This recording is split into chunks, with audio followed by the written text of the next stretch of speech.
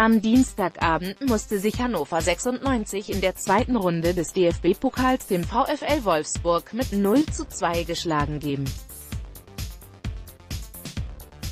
Auch in der Bundesliga sieht es für das Team von Trainer André Breitenreiter derzeit alles andere als rosig aus.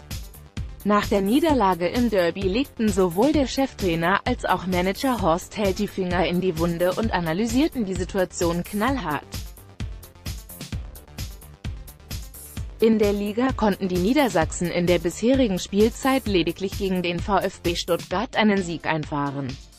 Ansonsten hagelte es für 96 neben drei Unentschieden bereits fünf Niederlagen. Allein der schwachen Konkurrenz aus Stuttgart und Düsseldorf ist es daher zu verdanken, dass die Breitenreiter 11 nach neun Spieltagen mit sechs Punkten auf dem drittletzten Platz steht. Kapitän Waldemar Anton glaubt weiterhin an seine Mannschaft. Nach der Schlappe gegen das Team von Bruno Labbadia zeigte sich Kapitän Waldemar Anton dennoch optimistisch. Wir haben noch sehr viele Spiele. Ich denke, wir können uns da noch in eine gute Position bringen, wird der Abwehrchef vom Sportbuzzer zitiert, doch anstatt dem 22-Jährigen beizupflichten und ebenfalls eine positive Ausstrahlung an den Tag zu legen, wollte Horst Held nichts davon hören.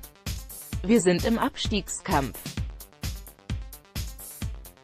Aus meiner Sicht bringt es auch nichts, auf Zeit zu spielen, weil wir noch im ersten Drittel der Saison sind, so die drastischen Worte des erfahrenen Funktionärs.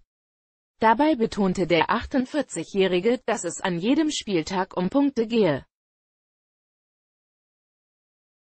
Da man nach neun Spieltagen zu wenige Punkte auf dem Konto habe, ginge es nun darum, dass wir möglichst viele holen. Auch der Trainer der Hannover Anna schlug in die gleiche Kerbe und ließ keine zwei Meinungen zu. Wir stecken im Abstiegskampf und benötigen jeden Punkt, so der 45-jährige Fußballlehrer. Punkt. Bereits am Samstagnachmittag erhält seine Mannschaft beim Heimspiel gegen den FC Schalke 04 die nächste Möglichkeit, das Ruder durch einen Sieg rumzureißen.